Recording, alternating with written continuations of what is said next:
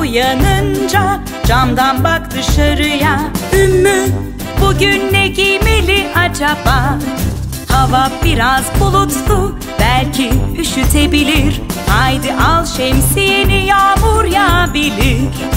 Sabah uyanınca camdan bak dışarıya. Ümmü bugün ne giymeli acaba?